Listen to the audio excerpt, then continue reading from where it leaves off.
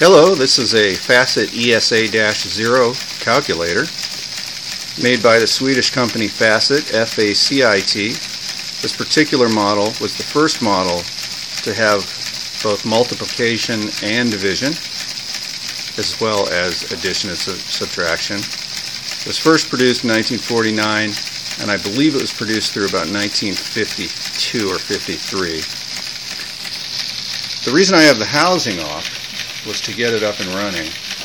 Would draw you your attention to something on a bar on the housing that says multiply, add, and divide, and that will apply to this lever here.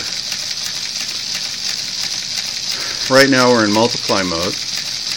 Just to have some fun, this is older technology, but it's actually brilliant mechanical engineering. I've got it about 90%, 95% up and running if I hit it with some kind of solution that both cleans and lubricates, I'm sure I could get the other 5 to 10% out of it. While in multiplication mode, I like to punch in a bunch of, for entertainment, a bunch of uh, sequence of uh, numbers, multiply it by another odd sequence, and then just watch it go to town.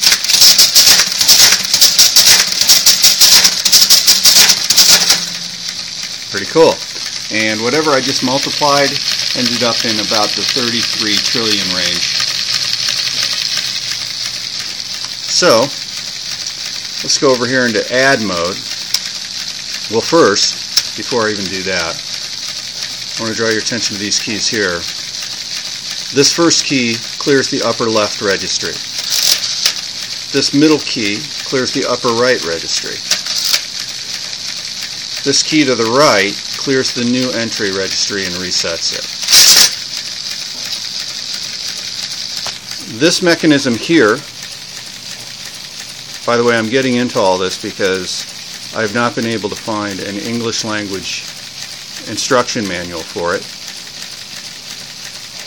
And if you spend some time with it, you will figure everything out. Um, I spent a little time with it. I figured out quite a bit, and I stepped away for from it for a few weeks, and um, am having to relearn. But this mechanism here has an up mode and a down mode. It has some kind of minor reset function if pushed in in either mode. And depending what mode you've got it in, it can limit the functionality of these keys for some purpose that is still beyond my ken. I've never used the word ken before, and I just did. So, let's go into add mode, and we can see it's still functioning. Um, one interesting thing, the division key also doubles as your subtraction key because the subtraction symbol is right there in the middle of the division symbol. I thought that was a little bit clever. I'm sure um, they were economizing any way they could with uh, such a complex machine.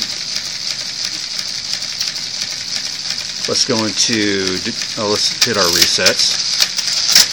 And let's go into um, division mode and have some more fun. So I still still haven't quite figured out everything, but so there you have it. The Facit ESA-0. Thanks very much. Good luck with your own.